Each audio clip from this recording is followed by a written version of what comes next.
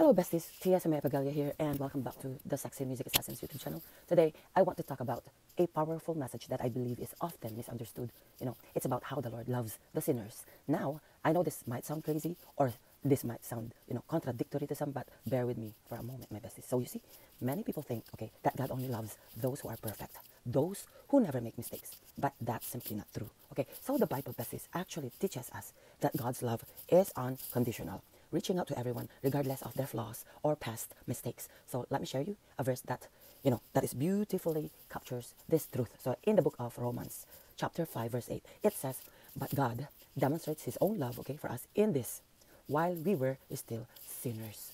So Christ died for us. So did you catch that, my besties?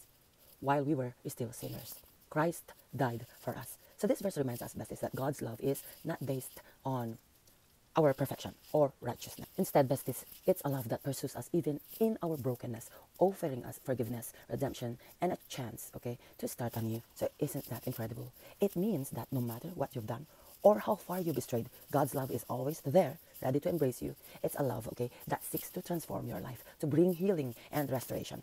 So my friends, my besties, let's remember, okay, that we are all sinners in need of God's grace. None of us are perfect. And that's okay. Okay? That the Lord, okay? The Lord Jesus Christ loves us just as we are. And He invites us to come to Him to exper- experience His love and forgiveness. So if you're feeling lost, burdened by guilt, or thinking that you're unworthy of God's love, remember th- this verse, okay? Remember that the Lord loves the sinners. And that includes me and you.